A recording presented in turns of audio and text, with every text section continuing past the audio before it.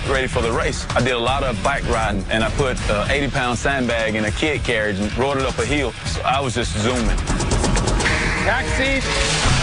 Oh, I'm working. The language barrier is off the chain. They're not understanding me, and I'm still like I'm getting further and further away.